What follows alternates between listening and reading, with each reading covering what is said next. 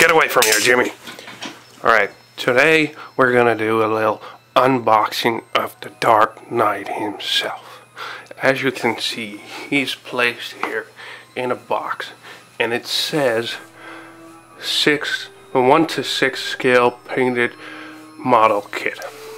It's from Kotobukiya. It's a Japanese manufacturer and it's a, it's a statue from the movie The Dark Knight Rises, which I wasn't in because I was, well, who knows what I was doing.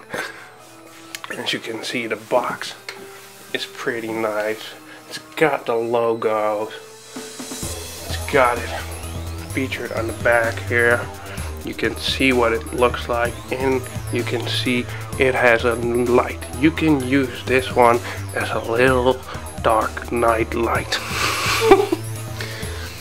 Alright, let's unbox this. If you're like me and you can't wait to get your hands around the neck of the Dark Knight himself, little Cape Crusader, this is a perfect one for you.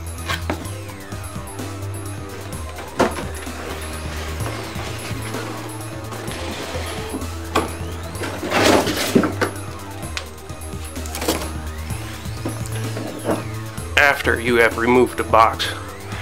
It's still wrapped in pretty tightly around in plastic. Well, it does come with three batteries because you need batteries underneath here so you can make the light go on. Now, I have already opened it. That's why this is sticking out. Let's go ahead and get him out.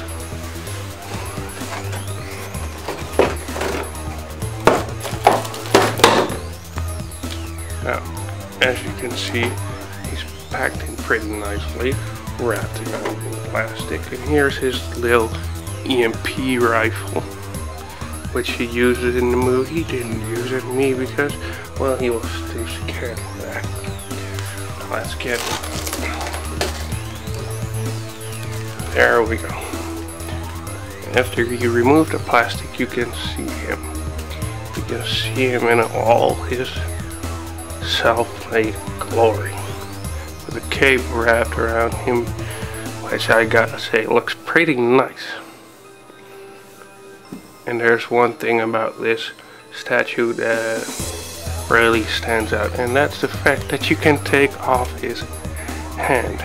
Other people might say that it's not easy to remove someone's hand, but actually this model proves otherwise. you can just take off his hand like so and put the other one on. It's really easy. Here we are. You can see his face, you can see his eyes pretty clearly. Scroll down, you can see his little symbol here.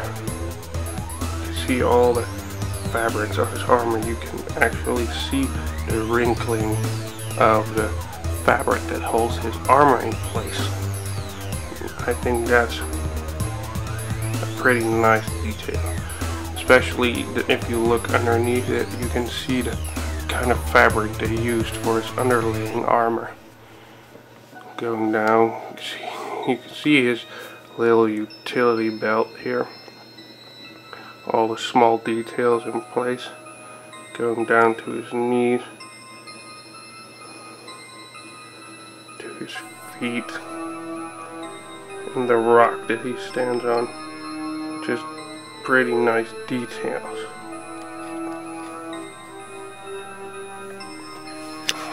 If we look at the bottom right here, you can see this little opening and here it goes the batteries go in here as you can see.